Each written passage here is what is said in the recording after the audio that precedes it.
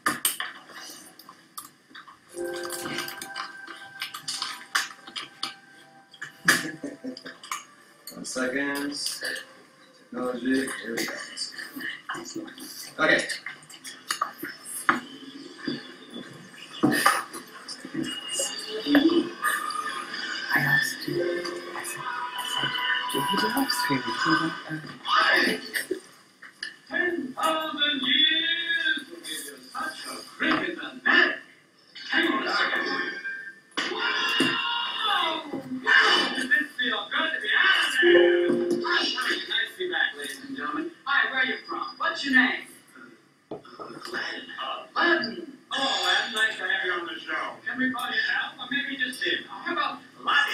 Something different. What's the movie? Aladdin. Aladdin.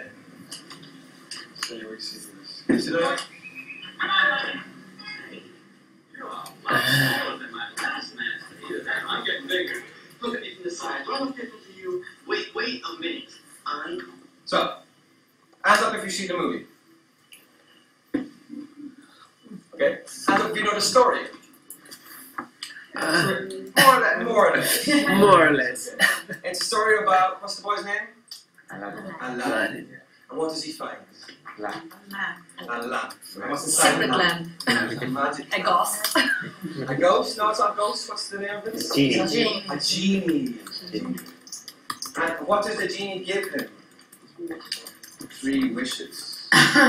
Okay, so right now you're very lucky today because the genie is in here, He's in this room, Oh. and he's going to offer you all three wishes. One wish to change your present, one wish to change your future, and one wish to change your past. This is getting personal. So, with the people beside, beside you, can you discuss what wishes would you like to have? Okay. Sir, it's hard. Change the present. Me too. I want to change my future so as not to work tomorrow. yeah. Do you really have to work tomorrow? Six hours in a row. Fantastic. Okay, that's your future. Mm. Yeah, tomorrow, let's say it's future. Jeez, jeez. Um, I'd like to stay here longer. Yeah. Yeah, That's a good I have to agree with you. I'd like to add an extra week to the calendar so that I could get everything done. Okay. Past Past wish. Ooh. Uh, that's very tricky. I like my past one. Bing. Okay, okay. Uh, a present wish. What were your present wishes? Not to stay in To stay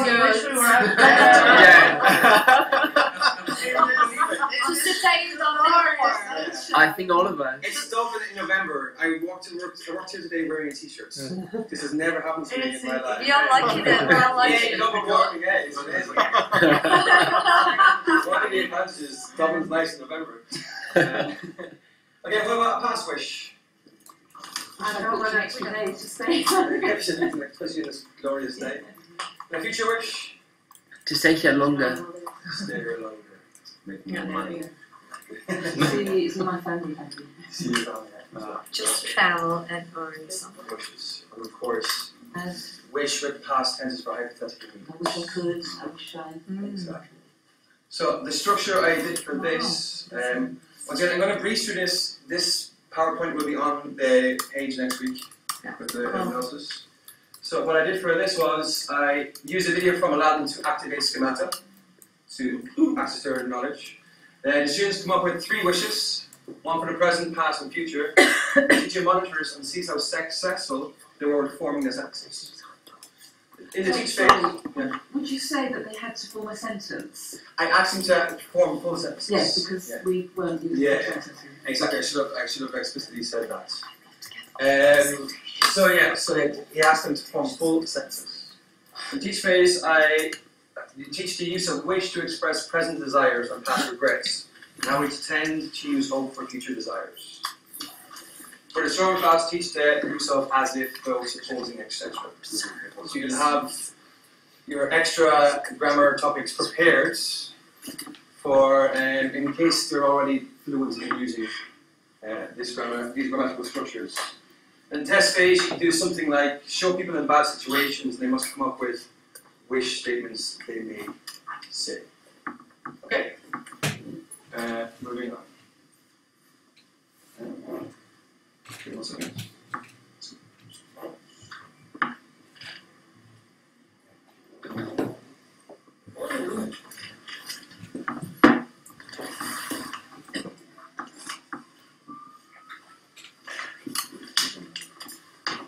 I'll show you- I'm going to show you a video of a, a restaurant scene.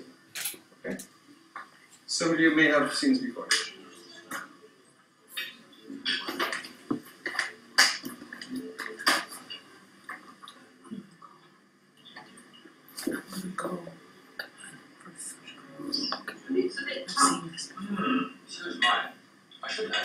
You always have a steak.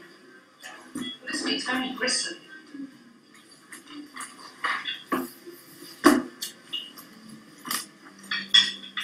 Is it your meal? Yes, thank you very. What just happened? What were they, do, they doing? They're complaining. And then what happened afterwards? The waitress came up and says, Everything okay? And what did they say? Yes. Was that a very good response? Should they have if they were unhappy? No. uh, so, um, yeah, I'll play the rest of the video. Oh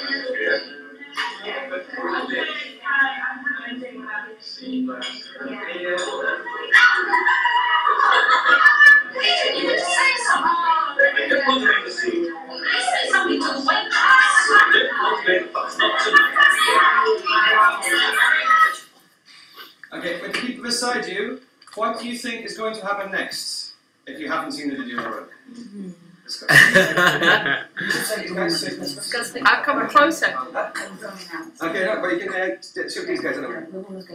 Join us if you. Um, probably she, wa- she she might say something to the waitress because she doesn't seem very willing to. Um, She doesn't show it. Speak up.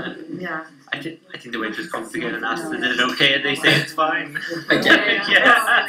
Maybe, maybe they want to like it. Like they pretend as if everything is fine. Yeah, yeah, Sometimes that would be the style. I might be a general difference. Or cultural difference. Had she been Greek, she would have stand up and saying, "Shut up" to everyone. She would have asked the waitress to just resign. No, I think Okay, so what do you think is going to happen next? maybe the one playing. Yeah.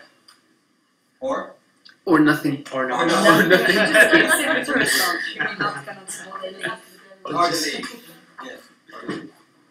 or to.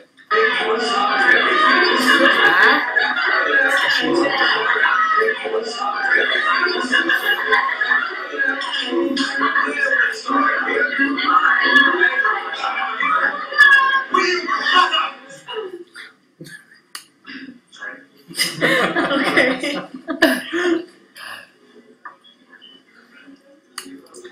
So what happened?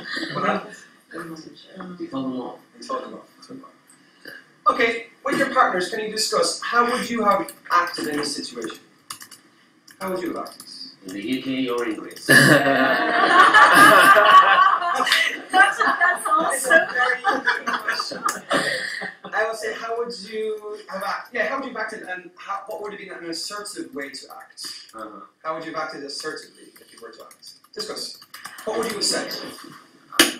I don't seem like a bitch. Can you please be quiet? Maybe. With the sign. I would approve that I'm trying to talk to them. If your dad's angry? No, I wouldn't, wouldn't be that angry because uh, I work in this class. So I'm used to the kind of no. I know you're right there. When we talk about complaints here with, with my students, the style here is that you have to express an understanding for the other person's position Oh, and then tell them why, what you need them to do. And so you say, uh, You I have know. to tell them what to do first? No, you tell them that you understand their Huh, their position. okay. So it's like if you're complaining to the waitress, you have to say, I know you're probably very busy, Ah, but we've been waiting a long time for our for our meal. Um, and uh, I don't know to those kids there. So nice. I know you're probably, you know, uh, Having cel- fun. having fun, but you have to consider. And you've got Yeah. to shut up. Why would you- Start a conversation with Why would you do Always that? start a conversation with kids. Yeah. It's like this. But that's the style here. If you don't do that, then you don't get a result. People don't feel obliged to help you. Yeah, being the right. Yeah, because they think, well, this person is just rude, so why should I even do I anything don't for them? understand why we should have layers and layers and layers. You When we can't want to really say directly get to the main Yeah, point. sometimes. We can. I don't think it works. I would have done the same, Parce que Would you just shut up? but but much earlier. it's kind of culture difference, that's why the way you express yourself. You've got to sandwich everything. We have to set up the background for shit, the shit sandwich. We have to set up the background so as to shout at these. No, I- So first set up the background. I think I Yeah. would- I would have done the same much earlier, and and and and the people would wouldn't be offended. Yeah. But because again, it's cultural. I mean, I, I would have never done the same here. But, but you see, teenagers everywhere make noise. Yeah. to do with psychology. Like, you message uh, me now. And you True, try yeah. And and maybe the way The way it's not, as he said. Yeah. I understand your position. I understand. Could you be quiet, please? Sorry. Exactly. What response could we have asked for? Could you be quiet, please? Because how did he react? It was very Stress. passive aggressive. Yeah. You know, he was like very passive and exploded. So he was about to get divorced. expecting divorce. I'm sure they're probably still together and still complaining about the same thing. Okay, so what other responses could you have given? You could ask the waitress, then would you mind asking those? Would you mind? Exactly. quiet down? You'd, you mind asking? You know, mm. what else? Could you tell them to be quieter? Could you tell them to be quieter? Yeah, more friends. Is it possible if you. No, not Would it be? Yeah, is it possible? Would it be possible? Would it be possible? So You could actually just say those people are disturbing me those people. Yeah. and be a kind of, you know, Exactly. pragmatic exactly. interpretation for the waitress. Exactly. But we had a question: Is it in Greece or is it in the UK? you know, but we should be teaching these cultural things. We should be checking their knowledge of this already. Yeah. So with this, we can teach functional language. For example, uh, teaching language of dissatisfaction. Uh, you could show a video of a couple complaining in the restaurant. The students come up with what they would say, how they would react. The teacher monitors and focuses on what intonation and functional language they come up with. Then in the teach phase, using the students' sentences, we reformulate them by focusing on the intonation, for example. I focus on the intent that should be stressed. Of course, it's like being direct and indirect. Uh, we can teach more advanced structures, of course, to higher levels. This is good language for a lot of levels.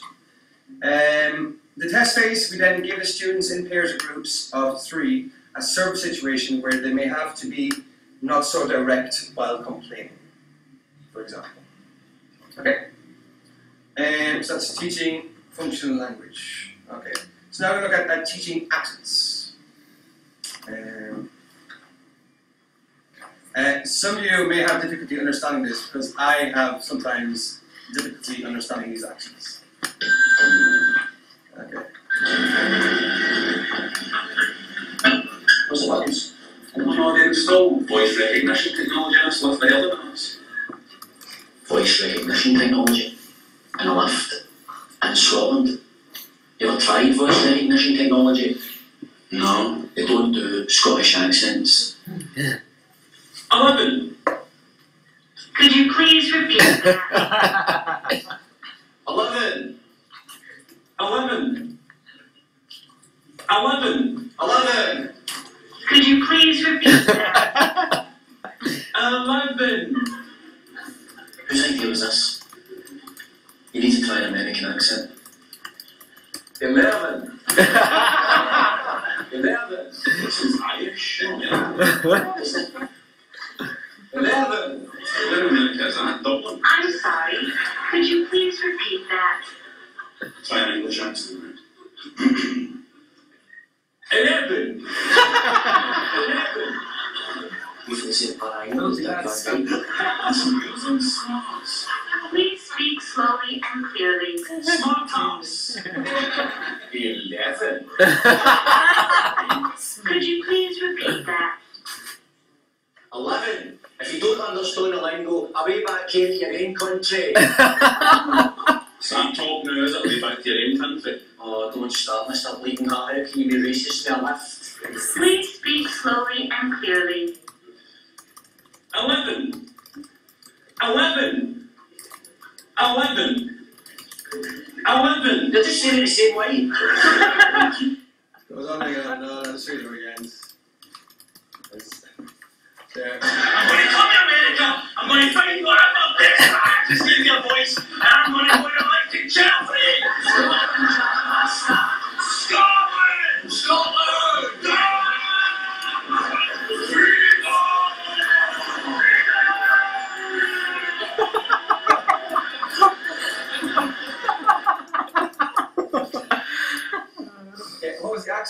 Scottish. Where in Scotland? Glasgow. It's very strong Glasgow accents. Um, so this works well, especially if you're living in a city in the UK or Ireland or any, where there is that strong regional accents. Uh, and students come, I don't understand anyone here. Yes, because you often you don't recognise some of the sounds they use or how they say words differently. Uh, so with a video of this about regional accents, so you could show them anything. And if there are students in Dublin, you could show them um, like you know Fair City or one of our regional shows, and you could show the for example show the video of the Glaswegians in the elevator and ask them to write down what they could understand, maybe twice if necessary. You do it almost like a dictogloss. See how much they understood and what parts they had most difficulty with. Um, they all found this quite difficult because I can recognise some of the sounds that are atypical or, are typical of a Glasgow accents. So focus on features of connected speech typical of a Glasgow region accent, like the glottal stops, or the way they use um, uh, different uh, monophthongs, for example. Uh, and then for the test phase, you could using another audio file of a Glasgow region accent, have the students listen to intensive er- excerpts they can write down what they hear or put their hands up when they hear the specific features of a Glaswegian accent, Okay. for example. Um, I've tried this a few times, it worked very well. It's, they still don't like us, we still don't understand, but at least they kind of stuff. Um, okay, with your pairs, uh, can you discuss uh, what's bigger than a human? What's smaller than a human? What's the biggest thing in the universe? What's the smallest thing in the universe? Oh dear. Wow. Now we're getting to the Is this a knowledge test? Or, or what, what we perceive as being um, bigger or smaller? What's bigger than human? I think it's one of those, you know, get the job at Google if you answer creatively kind of thing. Yeah, I mean, we could say life or a building. Bigger than human. Yeah. It's very weird. A mountain. What's smaller than a human? A molecule. My cell phone. Biggest thing in the universe. the biggest thing? It's unique. Most thing is It's engines. no, okay. Oh, awesome. neutrino. What's the biggest thing in the universe? It's the penis. Is it abstract? Yeah, it could be. That's outside. just what I was Could be saying. abstract. Yeah. Could be. You meant for peace, okay, yeah. Yeah. Okay, okay. Nature. Uh, but you're all thinking, are these trick questions? Kind of. Yeah. Um, there's a great website I use sometimes for when I'm teaching comparatives and superlatives. It's uh, called The Scale of the Universe. Yeah, the scale of the universe. And you literally have what's what are the biggest and smallest things in our known universe. And it's really, really good website that you can click on human. I'm going to assume you are a human. I am a human too. Did you know that there are over 7 billion of us? That's a lot. In fact, if you met each person for one second, it would take you about 200 years to meet all of them. Better get started now. Uh, so that's it's great. quite interactive. So with this, you can go. Do you want to go see what's. So what is bigger than a human? Sorry, what is bigger than a human? What did you What did you come up with? The house. An elephant. Yeah. And smaller than a human. An Uh, an ant, for example. And the biggest thing in the universe. Uh, that was tricky. A sun, a star. Star, yeah. We What's star? It sounds bigger than ours, I don't know. I'm not, I'm not trying to test you really on this, don't worry. There's no right or wrong answer. And uh, what's the smallest thing in the universe? Neutrino. Neutrino? Smaller, smaller than a neutrino? Sorry? Nanoparticles. Nanoparticles, smaller than that? Higgs boson. Okay, okay, let's see what's smaller than a human. So you have a shrew, That's present. have a worm, Yes. and the ants. Go smaller. Smaller.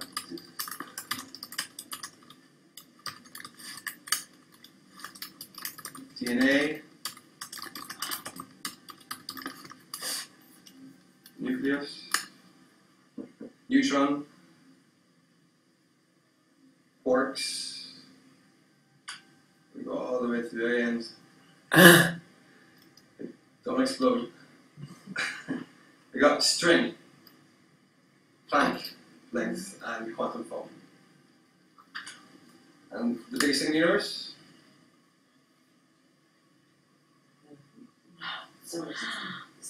Solar system, the sun. The universe. The universe itself. Okay, so we go out, we got human, bigger than human.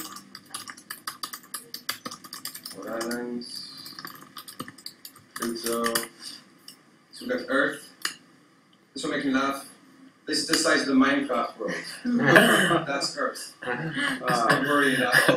Virtual reality is bigger, a lot bigger than our own. Absolutely great. Okay, the biggest thing in the universe is oh, is this thing, the Sloan Great Wall, which is represented by the thick green band, is the largest known object in the universe. It is made up of galaxies. It's called a galactic filament. Okay, it doesn't really matter. but what mattered was the language that we're trying to get from the student. Uh, so by using this, um, test teach test model. Uh, I ask introduction questions to gain the students' interests. Show the video, uh, of the universe. Ask the students to pick out certain things they are, are intrigued by. Ask the que- ask questions such as the human is mm, bigger than the ants. Is the human mm, bigger than the ants? Ask what's missing. Um, uh, the, for the teach phase, teach basic comparative adverbs, much, a lot, to the weaker students. Uh, to the stronger student classes, teach both comparative and superlative adverbs like bar is nowhere near, etc., etc. Okay. As, and uh, lastly, test phase. If the students have access to a computer room, they can generate questions using the language just taught from the others to guess. The giant Earth room is just about as big as that. So you have to go onto the website and find out what they're referring to. It's another way to use these structures. Um, okay. Uh, has anyone seen these images before? No. Yeah. Okay. Yeah. Okay. If you know what these are, uh, please be quiet. With your partners, can you discuss what can you see? If you know, be There- my partner. Again, they are not just circles. Okay, they're not just circles. Okay. They're something. They're yeah in 3D form. Oh, 3D form. Yeah. Okay. okay, discuss. I see. Uh, then it's, it's, is it the Yes. verb perspective? It can be a person. It is? Yeah. Wearing If a it's 3D? And what's the thing? a Mexican. Okay. Ah. you know. No, I. Is this, is this correct? Is He's it- imagining. is it- is right? He is right. I can remember something from my childhood. Yeah, So but teach Had us. this. what's the difference? Sorry. What's the difference between three I of them? thought it With- was a saucer with and B, a With C, we see the, the I don't know what the last thing extended. is, but that can be a person on top. And probably with I E, have we see see the child. second. Okay. And the The first one. What do you think it is? What's A? It's a woman. Are you sure about that? Are you sure? So what you said, it's it could be a woman wearing a hat. It could be a woman. Could be a woman wearing a hat. You're very very close, but it's not. You're so close. a Mexican wearing a sombrero. It's a Mexican wearing a sombrero. I didn't know, obviously. very good, very good. It's a Mexican wearing a sombrero. Uh, what's the second one? A Mexican wearing a sombrero riding a bike. Riding a bike. Very good. And E. What's E? He has a It has a sand. a son, a mini Mexican. Okay, uh, so what language could you extract from this? From this That might be. Modality. uh, Could be, yes. Yeah, deduction. Deduction and speculation. So, um, Wow. for example, it has to be, it can be, it looks as if, it seems to be, perhaps, I think it's, maybe, it could be, probably, it's, I guess, it's. Um, so, using these structures uh, with your partners, can you, have you seen these images before? No? No. Okay, using this these lang- this language, can you try and uh, say what you think these images are? Of course, the first one is the table. I give the answer away. Uh, so, with your partners, discuss what you think these images are. Try using the, uh, the target language. This might be the third one. We're talking about the third one. One, two, three, four. Um, You're The asking the fourth one could be a toilet. Which direction? Or Probably. A a Mexican on toilet? might be. Um, Hesitation and that could be a ring. the one, two, three, four, five, six, seven, eight Plus one. One. Is it, seems to be a door. From the one with the two things on either side Yeah. is probably a koala. Is it what? A koala. what is this one? That's great. what do you think about this one? Which seems like sandwich. Yeah. Or, Which or one seems like Which one? Because I don't see more than two. know. Okay, the second, second part. Yeah. The second picture seems like sandwich. Yeah, Near yeah. the circle. Like a- Like, or, or a donut. Like a Oh, hamburger. not a donut. It's, a- a- it's like a- a- uh, a hamburger. Frankfurter. Uh. Hot dog. Hot dog. Okay, number two. Feeling What's hungry. going An to do old this? man. Wrong.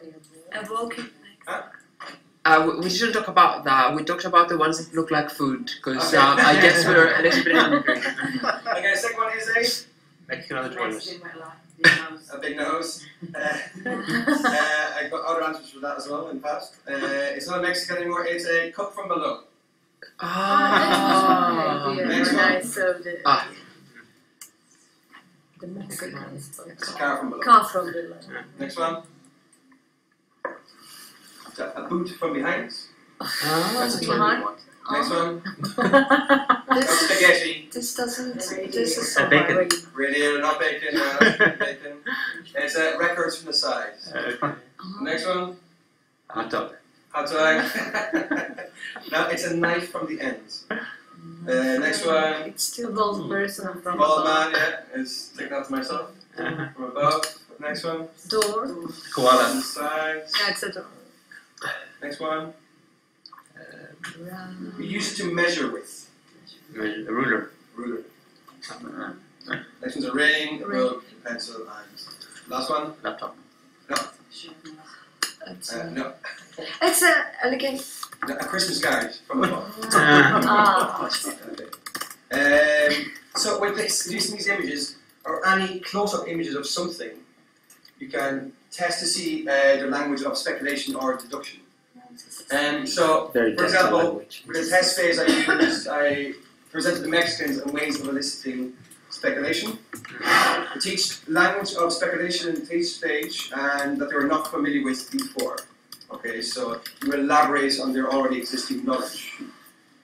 Uh, then in test phase, using Penny Ur's images from five minute activities, that's where I took the previous uh, image, they can use the scaffolded language to say what they think they see or not. For homework, they can take pictures of things in their daily lives, like close ups, and they can bring them back into class the next day, and they can, using the language, say what they think they see in the images. I had them, I had them go around the school taking pictures of things close up, and had to come back using the language to guess what they see. Um, so, I live in a crazy house with a lot of crazy people. I've got Jack, uh, and so, okay, so last night, uh, this thing happened. Uh, a spaceship crashed into my house. It was terrible, absolutely terrible. Uh, Jack was in the attic. He was doing something. Dad and Sis were in the attic, also doing something. Sam was there, Tez and Karen, Fiona and Jim. The grannies, Fred, Auntie Susie, Uncle David, and Mum. They were all in the house when the alien ship, spaceship crashed. Uh, with your partners, can you discuss what were they doing when the spaceship crashed, please? What were they doing? Um, Where were you? Uh, I was in Dublin, of course. Okay. In the spaceship. I was flying the spaceship. possible, so possible. this Yes. was, what were they doing when the spaceship crashed, please? Looking at the images. When it happened, I was having a show. Oh, Yeah, yeah. Fiona and Jim, Fiona and Jim were doing yoga. When he crashed, I was having a show. yes. Yeah, I see that. Is Uh, mom? Is it? Is it? Tess and Karen were jumping on the trampoline. What's she doing? I'm totally blind. She was Yeah, I can't. cooking. Oh, feeding the cat.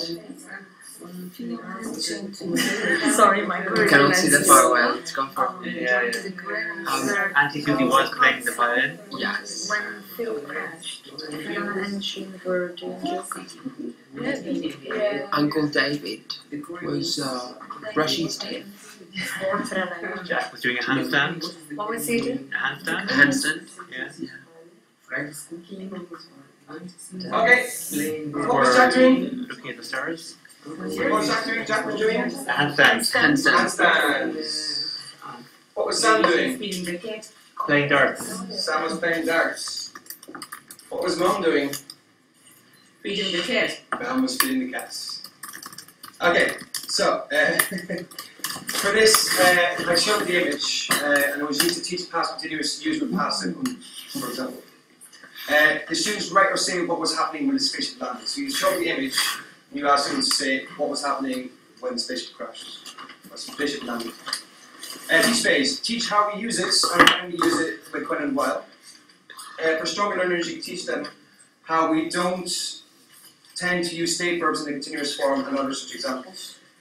Going to teach this uh, grammatical structure. For example, John was annoyed when the spaceship landed, not John was being annoyed when the spaceship landed, for example. Uh, test phase then, uh, the students can then create their own crazy house for the others to guess what was going on when the spaceship landed using PowerPoints or even just an A4 sheet of paper. So I just show them, they say I give them all this on a PowerPoint or on a piece of paper you don't have access to computers, and they all create something similar. Okay. Uh, another thing I discovered uh, is a thing called Magnet Maker. Uh, Magnet Maker is this website. Uh, Yeah, it's a great. Okay. So here I've got two uh, sentences. This is so if you can see this is the first sentence and this is the second sentence. Can with your partners can you try putting these in order, please? Uh, so never is the first word here, and not is the first word here. Inversion. okay, in your groups, can you try to put these in order, please?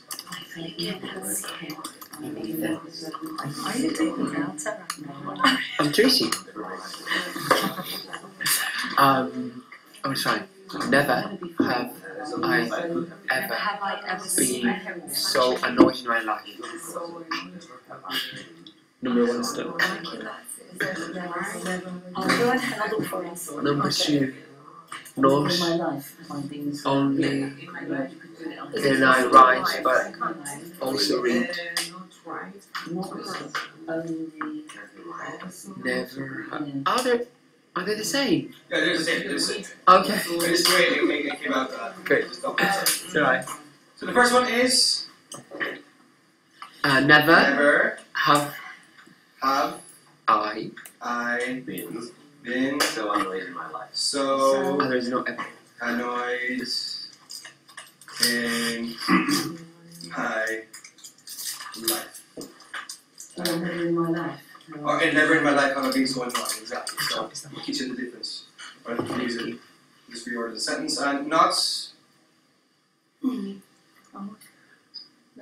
Not only.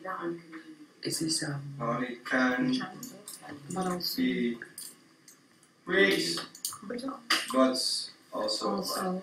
This is just basically a jumble dictation, No, of course, it's got a technological aspect to it. Um, so with this, advanced students or C and B2 students might not come across inversion. Give it to them and they go, wait, this doesn't sound right. You know? um, so with this, what I did was, uh, using already made sentences with Magnet Maker, the students unjumble the sentences. Yeah. So they unjumble the sentences, a basic jumble dictation. Um, is the order of the sentences, the use of auxiliaries and context where they may be used, etc. for inversion. For stronger students, teach other inversion sentence starters that involve clauses. For example, only by pointing it out to him could he see the answer. And then, as an example, as a test phase, the students create sentences using this inverted sentence starters. They pass them on to their classmates for them to guess what the context of the situation is. Okay, so you're looking at all these things and you're like thinking, oh, not working. Okay, you're thinking, ain't nobody got time for that. I don't know, the sound cue there, working. So, we don't have time for this. You're like, okay, these are all very good ideas, they're nice ideas, but how do I find them? We don't have time for this. But there's a very quick thing you can do with the testing success model in your classroom if you've got the internet. So, can use online grammar websites. Simply show them activity, an activity. See how well they perform at this. For example, this was using used to teach uh, adjective adverb collocations. For example, I'm fantastically bad or fantastically terrible at maths. Is it uh, gradable or non-gradable? Uh, it's fantastically bad. It is usually important or hugely essential. Essential. So you give them an exercise like this, you can have them all working together or in their notebooks to see how well they perform at it. Uh, so using the grammar activity provided, see how well they can perform the task. The teach phase, teach the target language and be prepared to teach the stronger students an aspect they didn't know before. The students can then create context where the target language is used or to possibly tie it in with the writing. And you can also do a matching activity that you can find online as well. So these are things that we have access to if you have a PowerPoint, you can just put them on the board. Test their knowledge, see how well they can do it, and then teach them what they don't know. Okay? And that's me. I hope you enjoyed it. Any questions? Um, can yeah, can we have the, the links for for the things The you links are showed? all, all, they're all in the PowerPoint, All right, cool, which will be So- provided next week on the, Okay. on the webpage. great. Okay, uh, it's an absolute pleasure, especially to be back in Dublin doing this. This is where I started my TEFL career eight years ago, and it's an absolute joy to be here. And uh, I hope you got something from this today. Thank you very much. Thank you.